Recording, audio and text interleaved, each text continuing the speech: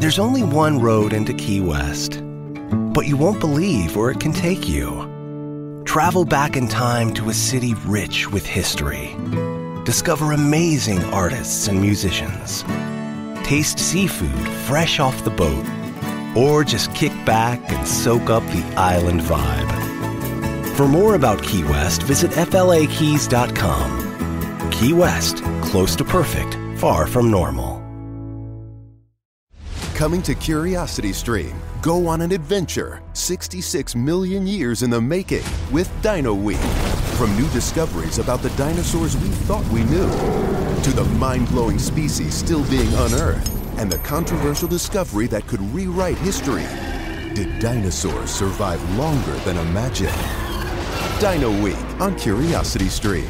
And with monthly, annual, and bundled pricing plans, find the one that works for you at curiositystream.com.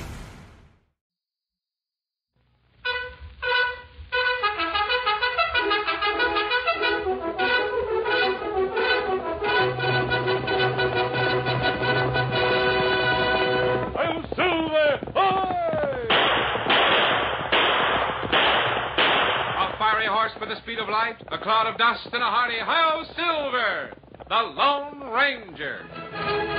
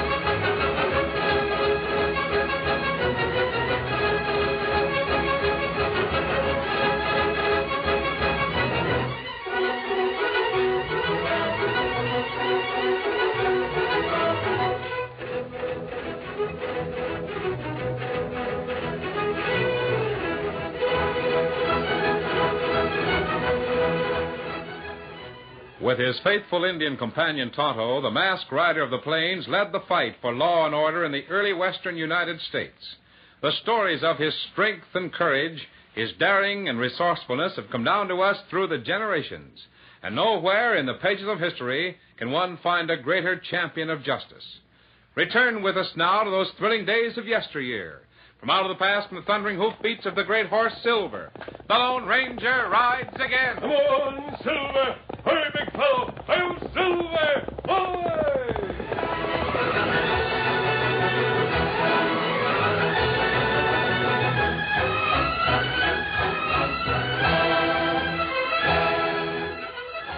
Jeff Morris, operator of the Wagon Wheel Rancho, rose from his comfortable chair before the fireplace to answer a knock at the door. Why, evening, stranger. What can I. Huh? Well, my. Hello, Jeff. For the love of Mike, it's the masked man and Tonto. Come in, come in. Oh, we just stopped by for a moment, Jeff. Oh, but you got to stop in for a visit. Oh, I uh, noticed you had company. They might not understand the reason for this mask I'm wearing. Oh, nonsense. And besides, it ain't company. It's just my daughter Janie and her beau, young Jack Page. Now you come inside and get warm. Got a big roaring fire going. Come in, you hear? Oh, thanks. It was evening. In the big living room of the ranch house, the masked man sat comfortably before the open fireplace, listening to the words of the old ranchman.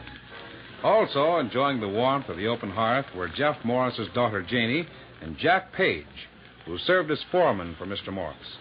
The stolid Indian Tonto sat silently staring at the quick leaping flames. Well, all in all, it's been a mighty good year for us. Mighty good. How much stock would you be wintering, Jeff? Well, can't rightly say until after the first of the year. Depends a lot on how long this good weather lasts. Well, perhaps Tonto can answer that for you, Dad. Well, uh, how about it, Tonto? Um, Sure, you tell the boss what kind of weather's ahead, Tonto. Me, I'm betting we have a short winter and lots of open weather. Is uh, that the way it looks to you, Kemosabe? If it's an open winter, Dad will keep all of his cow herd and be money ahead in the spring. Yes, but on the other hand, if the weather turns real bad, I ain't likely to have feed enough on hand to winter 'em all. What? What did you call your friend a moment ago? Uh, Kemosabe. The words are from the Indian dialect and mean trusty scout. Trusty scout, huh?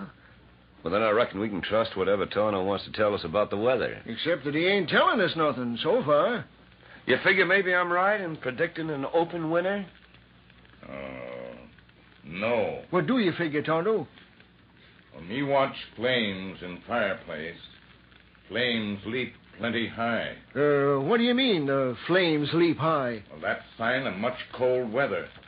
Much snow. Tonto thinks maybe plenty bad winter head.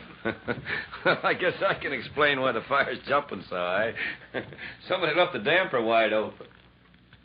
You find damper wide open, Jack? What's closed? What's closed almost tight? Well, I'll be doggone. Tonto, is there really anything to that, or is it just another Indian superstition? Well, red man believe in sign. Red man not have big warm house in winter. Maybe life depend on whether him read sign right. Tonto means that he wouldn't have made the prediction if he didn't believe it to be accurate, Jeff. Hmm. Maybe I better get busy and find out about shipping some stuff to Kansas City. Well, if Tonto's right, we better hunt around and get us a couple of more hands on the payroll, huh, Jeff? Well, that reminds me. I hired a man today in Flat Rock. Fella by the name of Kramer. Uh, cowboy? Horse wrangler. And believe me, he sure understands horseflesh. He's got a buckskin pony he's been training. It's pretty near as smart as your black mare, Jack. Oh, yeah? In fact, he weren't interested in the job nohow. Then I got to telling him about your horse. And the more I talked, the more interested he got. And then, well, about that time, Janie come walking out of the post office and over to the buck. Now, Dad. And this Kramer gent, he took one look at Janie and swallowed his Adam's apple three or four times. Don't you believe a word of it, And Jack. right away, I had myself a new hired man. He's coming out in the morning. well, I'll look around, see if I can find another puncher someplace. Uh, this uh, Kramer fellow be rather heavy set, sort of reddish hair, and about the size of Tonto. Why, uh, yeah, sure. You know him? If Bud Kramer's coming to work here tomorrow, I think you can stop worrying about the other cowboy. Huh? In about two days, you'll have another man on the payroll. A fellow named Pokey Langley. But uh, I don't savvy. I'll tell you a story about Kramer and Langley. But you'll have to promise not to repeat it because I wouldn't want to spoil their fun. Oh, fun. my goodness. This sounds awfully mysterious. Yes, go ahead. Tonto and I have run across Langley and Kramer up in the North Country several times. They're inseparable partners, That's right. and wherever they go, they always manage to stir up considerable excitement. Hey, you don't mean that they're troublemakers, do you? Well, let's say they're practical jokers, Jeff, with a special delight in tormenting lawmen. What? Uh, just how do you mean? Well, they always come into a strange town separately. The first one to arrive usually hangs around town a day or two until most of the townspeople know who he is. Then the other one comes riding into town and wants to know if anyone has seen or heard of his double-crossing partner.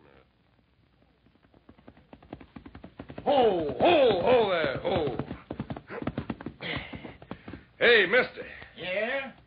What can I do for you, stranger? My name's Pokey Langley, and I'm a looking for a no good double crossing maverick by the name of Bud Kramer. Kramer, say, what do you... Aha. I see you've heard of that Pison Sidewinder. Tell me, is he here in your fair city? Why, uh, well, you see, uh, Mr. Langley, Just I... answer me yes or no, partner. I've been riding more'n a thousand miles to catch up with that worthless critter. Uh, he was here, but uh, I said... Aha. Is he still here? Well, is he? Well, I, I think so, uh, but I ain't rightly sure. I'm going into this here hotel and scrape off the trail dust I've been accumulating. Then I'm going to find Bud Kramer and shoot him so full of holes the wind will whistle going through his miserable carcass. To think I finally caught up with a black-hearted scoundrel after all these years. Good heavens. Mr. Langley certainly sounds like an awfully ferocious man. You should see the two of them when they meet, Miss Janie. You mean them two actually do get together and slug it out? Oh, and very convincingly. After Langley arrives and makes a lot of fight talk about Kramer, Kramer starts calling Langley a lot of names and promises to kill him the minute he lays eyes on him. So that weasel-faced buzzard accuses me of running away from him, eh? Well, let me tell you, folks, it's just the other way around. I've been looking for that double-crossing Pokey Langley for five years, and you can take my word for it. The minute I set eyes on that two-timing tin horn, the lead's going to fly high, wide, and handsome. Why, that miserable no-count horse thief, he's got a streak of yellow running up his back a mile wide. Go lie up by the clock, Bud Kramer. Well, as I live and breathe, it's Pokey Langley. You ain't going to live and breathe very long, you dirty double-crosser. Now, you folks get back out of the way. I don't want to see innocent people get hurt on account of this worthless bomb. Get out of my way. Look, hold the chair. Well, Pokey, you can drag your hardware whenever you're ready. Uh-uh. You first, Bud. I ain't going to be accused of murder. You know blame well I'm faster than you are with a gun. Only thing you're fast with is your mouth, you chief crook. Now, look yonder, behind the bar. Huh? See that clock? It's almost set to strike the half hour. Sure. Sure, we'll take that for a signal. Right. So long, Pokey. I hate to do this. You better be sorry for yourself, you polecat. Look at that clock. It's going to strike any second. Oh, never mind the clock, Slim. Keep your head down.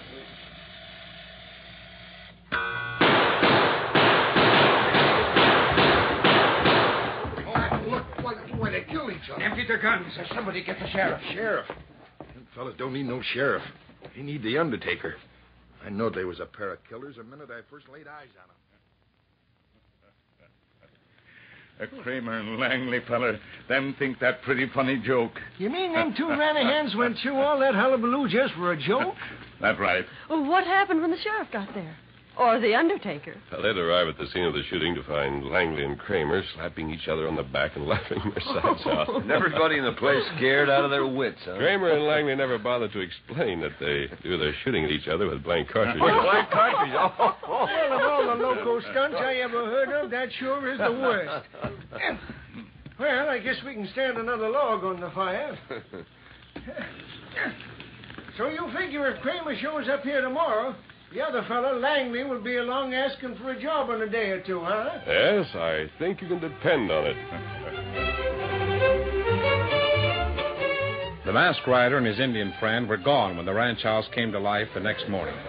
After breakfast, Jeff Morris and his daughter Janie joined a group of cowboys in the ranch yard to watch young Jack Page as he put the black mare Lady through her paces. That mare is just the smartest piece of horse flesh I've ever seen in my life. And the handsomest, huh, Dad? Well, now, uh, who are you talking about, the horse or Jack Page? well, they're both very handsome, if you must know. Oh, a fella's looks don't mean nothing, Janie. But I'll sure take my hat off to a fella that can handle a horse the way Jack handles that mare. Look, he's teaching her a new trick. Oh, uh, he's teaching her to count. Sometimes she behaves beautifully, Another time she's awfully stubborn. A genuine female characteristic. Oh, you. Uh-oh. Looks like we got company coming. Oh, it's that Kramer gent. Uh, Jack, come here a minute. Huh? Oh, uh, what do you want, Jack? Uh, here comes young Kramer. Now, we ain't supposed to let on like we know about him and his partner Langley. Savvy? Don't worry, I'll keep mum about it. And you too, Janie. Oh, I wouldn't spoil their fun for the world. Besides, I'd like to see Sheriff Dixon get all excited when the shooting starts. Yeah, yeah. Hold it now. Uh, howdy, Kramer. Oh, hold oh, oh, easy. Howdy, folks. This is Bud Kramer, the new wrangler I hired in town yesterday. Hi. Oh, there, lady. What's the matter with you? That's quite a mare you got there, mister. There ain't none better, Crit. Hold, girl. Hold steady there. What in the world has come over? Hold now, hold now. Cut out that prancing around. Acts kind of nervous. Um, what'd you call her? Her name's Lady. Hold, girl. Now, easy there. Easy now. Oh, easy. Looks downright intelligent. Easy. Hello, lady. Well, now, look at that, would you? What's the matter, girl? Hmm? I'll be darned. Anybody would think they was holding a regular conversation. Didn't I tell you this fella knowed how to handle horses? I'll bet you're a pretty good trick horse, huh, lady? What? Look. She's nodding her head. How in the world do you do it? I reckon it calls for a heap of patience, Miss Janie. Jack's been trying to teach you to count. Oh, shucks, that ain't nothing much for a smart horse to do. Our lady here. Let me see your teeth, lady. hmm About a five-year-old, huh? Yeah, that's right. Lady is five. I suppose you can show me how to make her count up to five, huh? I'll bet you a hundred dollars against the mare. She'll do it the first try, mister. Feel like gambling?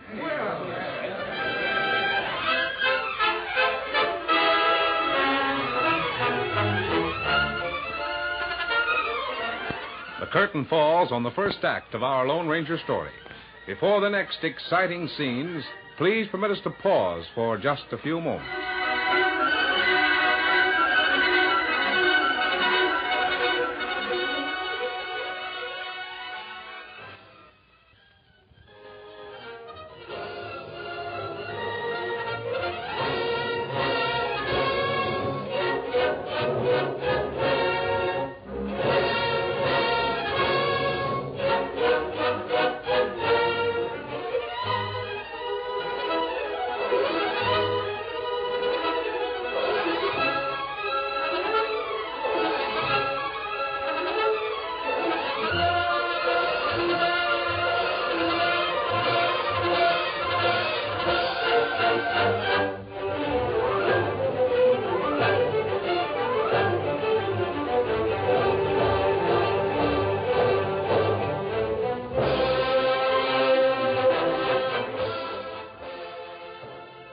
To continue our story.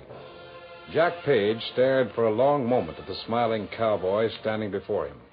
Then, I'll bet you the hundred dollars, Kramer. But the mare ain't mine to gamble with. No? I understood it was your horse. I'm, uh, I'm aiming to, to, to give the mare away. Maybe Jeff wouldn't mind breaking the news. Well, um, what Jack is trying to tell you fellas is that him and Janie is fixing to get married. Janie becomes the new owner of the black mare on her wedding day. I think Lady will be the nicest wedding present any girl ever had. Uh, well, Mr. Kramer, are you going to show us how to make Lady perform? I. Some other time. Right now, I better get my gear over to the bunkhouse. Kind of a loudmouth, Jasper, ain't he? Makes a lot of big talk and then just walks away. I. I wonder. Huh? I wonder if it was. Just a lot of loudmouth talk. Well, he sure changed his mind in a hurry when. Hey, look yonder. Why, yeah. Dixon, the sheriff. He's coming like he was late for breakfast. Now, say, if he's coming for the reason I'm thinking of, don't neither one of you let on what the masked man told us, you hear? Well, I'll put the mare in the stable, and I'll join you later. Uh, Slim, Slim, yeah. Will you go over to the bunkhouse and tell Kramer I want to see him? Sure, Jack. Whoa there, whoa, boy, whoa there, whoa. Well, howdy, Sheriff. What's the big rush? Howdy, Jeff. Hello, Janie. Hello, Sheriff. Say, you take on a new man named Kramer? Why, uh, uh, yeah. Well, listen, you got to get rid of him right away. Huh? Why, what's wrong? What's he done? I don't know, but there's a fellow pulled into Flat Rock this morning looking for this Kramer gent, and he sure got blood in his eye. Oh, I wonder why. Do you mean he's gunning for Bud Kramer? He sure is, and I don't aim to let 'em come together if I can prevent it. Why, this fella, this uh, Pokey Langley, he come roaring into town a looking for Kramer, and I declare I never seen a man more anxious for a killing party in all my life.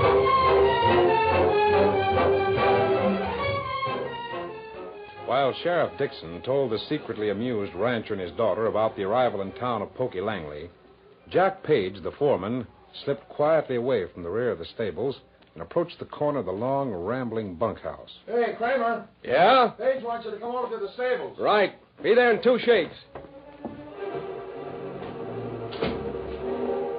A moment later, Jack Page stepped quietly through the doorway of the deserted bunkhouse and went quickly to the blanket roll that belonged to Bud Kramer. Uh, maybe just a footloose cowboy, and then again, maybe not. But just in case, won't do no harm to find out in advance. Hmm, nothing very unusual here. Hey, what's. Uh, get this bedroll made up like it was and get out of here. So, our fun loving friend likes to torment the lawman, huh? That's what the masked man said. But the masked man didn't bother to say just why Bud Kramer carries the United States Marshal badge in his bedroll and a murder warrant for Jack Page.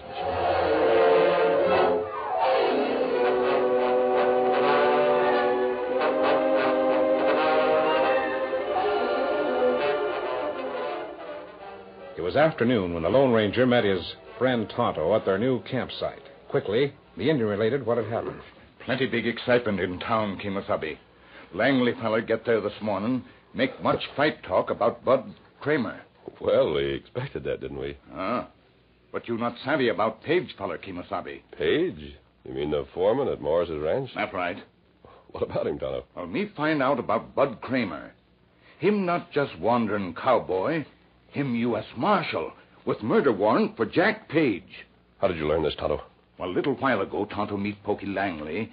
Him on way to ranch to see friend when someone tried to rob him. What, uh, well, uh, what happened? Well, Langley feller, him riding along trail when someone throw rope and knock him from saddle. Him get knocked out. And then? And bush feller run away plenty fast when Tonto come along. Him not have time to rob Langley. Did you get a good look at the man who attacked Langley? Well, him plenty far away. But Tonto see black horse, and it run plenty fast. You think the man was Jack Page? Ah. Then Langley feller come too. Him say Bud Kramer have murder warrant for Page from Montana. But it doesn't make sense. If Kramer were after Page, why would Page attack Pokey Langley? I... Wait. What matter? Makes plenty of sense. Come on, Tonto. We're heading back for the Morris Ranch as fast as we can. Me ready. Come, Scout. Here, Silver. What do you think happened at Ranch Kemosabe? There'll be another murder committed unless we get there in time to stop it. And we'll be responsible for it. Steady, Silver. Uh, Come on, Silver. Get him up, Scout.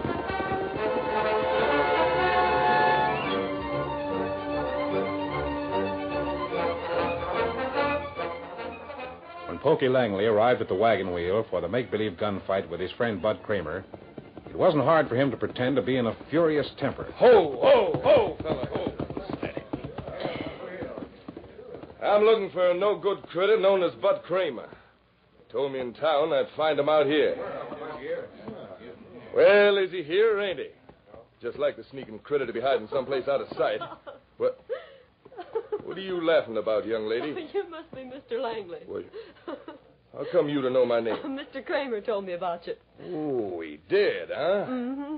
Well, just where can I find that pizen sidewinder? Oh, I reckon he ain't far away, fella. Last time I seen him, he was oiling his guns and saying how anxious he was to meet up with you. Ha ha. He probably stole your fastest horse and lit out when he heard I was heading this way. Why, you if I the had... horse thief, you Oh, sparrow-headed goodness, buzzard. such awful names. Oh! Hey, uh, Bud Kramer. At last I've caught up with you. You ain't caught up with nothing but the Undertaker, you puffed up windbag. Whenever you're ready, you can stop shooting off your face and try shooting that six gun you're packing. You folks stand back out of the way. I don't aim to see innocent people get hurt while I exterminate this double-crossing varmint. What? I'm going to count to three, partner. You better be ready to grab your gun. Start counting, you black-hearted weasel. Hey, look, look, there's a couple of riders coming. Let 'em come. One. I'd sure like to know what that young lady's laughing about. She's laughing to think how you're going to look when I get through with you. Two. Well, hurry up and get the three. Oh, Silver, hold Three. Hey, hey, what's the idea? Spoiling everything. Say, did you see that? The masked man shot the gun out of Pokey's hand. Oh, Doggone it all, you sure put the kibosh in a good shooting party, masked man. Sorry, Bud. Pokey, pick up your gun. Take a look at the cartridges. Huh? Oh, what are you getting at, anyway? Look at your gun. Oh, sure. Hey. What is it, partner? Well, Bud, I'd have killed you dead on a doornail if the masked man hadn't have got here when he did. Look. Well, for the love of... What's the idea of putting real bullets in that gun? But I didn't. I put blanks in before I left town. Now you know why you were attacked and knocked unconscious on your way out here, Pokey. What's that you say? Sorry to give you bad news, Jeff, but Bud Kramer here happens to be a United States Marshal with a murder warrant for Jack Page. Oh, no. No, that can't be true. I... I don't know how to tell you how sorry I am, Miss Janie. Let me tell you how glad I am. Jack's plan to murder you failed. I suppose it was Jack who attacked Pokey Langley and substituted the real bullets for the blanks. Yes, Miss Janie. Tonto saw him riding away on the black mare. Black mare. My wedding present. Come on, let's get saddled up and go after him. Tonto and I'll ride with the marshal and his friend, Jeff. You better take your men and go after your cattle. Ah, Right. a big storm coming. The big fella. And let's go. You got a three-hour start on us already. Come on, Pokey. I'm ready and waiting. Get up, come on. Get him up, small silver.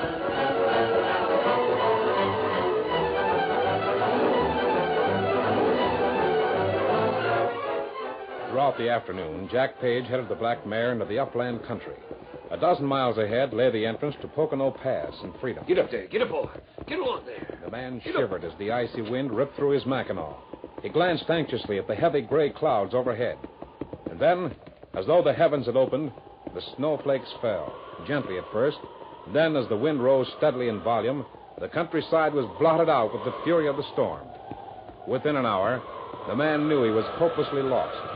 Desperately, he pulled the heavy six gun from under his Mackinaw and began firing. Firing and reloading with numb fingers.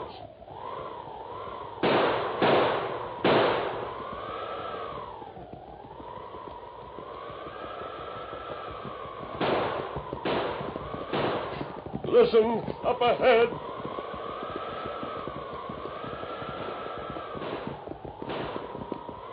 Sure is wasting a pile of ammunition. This way! Over here! There he is. Ah! Didn't I find shelter under cliff? Come on, let's get his guns and ammunition. We go back to ranch tonight, Kemosabe? No, Tonto. We got a fire going under that cliff and wait for daylight.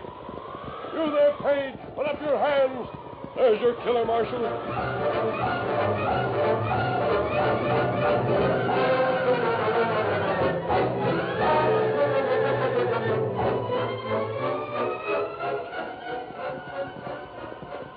Mid morning when the party returned to the wagon wheel with their prisoner. As they rode into the ranch yard, Jeff Morris and his daughter came out to greet them. Oh, Silver. Oh, oh, Easy, big fella. My golly, Tonto, you sure did call the weather. Did you get your cattle out in time? Yes, sir, and just in time. Well, Jack, I see they brought you back. And I don't mind saying I'm sorry for you. And you, Janie. You sorry for me, too? I. Of course I am. But I'm glad in a way. Glad. Glad that Bud Kramer and his friend and the Lone Ranger and Tonto found you and brought you back. I guess I got panicky. Probably would have died if they hadn't found me last night. I want. Janie, I want you to keep the mare for your own. No. No, Jack. I, I wanted to own Lady once. As a wedding present, remember? Uh, just a minute. That mare ain't yours to give, Mr. Page. So climb off. What's that you're saying, Kramer? The mare was stolen from me up in Montana over a year ago. And Page killed the fella in a gunfight. Took the mare and headed south. Oh, that's a lie. Well, the horse ain't even branded. How can you prove anything? I wanted to show you once that I knew how to handle this lady horse better than you could. And I found out Miss Janie was getting the mare for a wedding present. I changed my mind then. Now I reckon I can change it again. What do you mean? I just want to show you one trick you never knew that a horse could do. Lady. Buck, lady. Buck. Turn it loose, lady. Stop it! Now cut it out! Make her stop! Let go now! Now that's what I call getting unloaded in a hurry. oh, excuse me for laughing.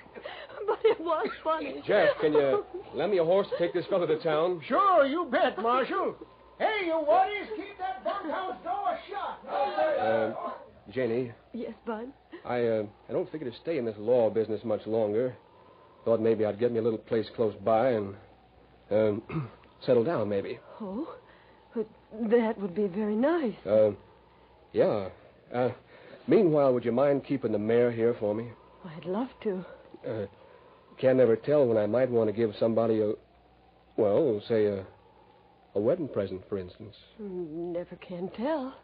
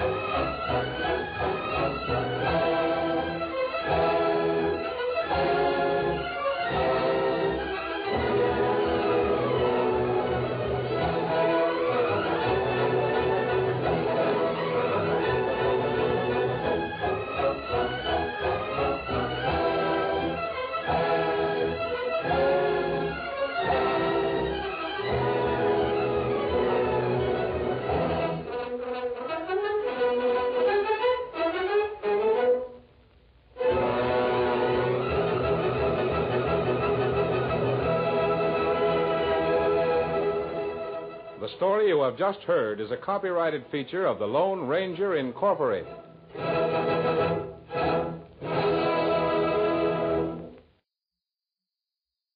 With Lucky Land slots, you can get lucky just about anywhere. Dearly beloved, we are gathered here today to. Has anyone seen the bride and groom? Sorry, sorry, we're here. We were getting lucky in the limo and we lost track of time. No, Lucky Land Casino, with cash prizes that add up quicker than a guest registry. In that case, I pronounce you lucky.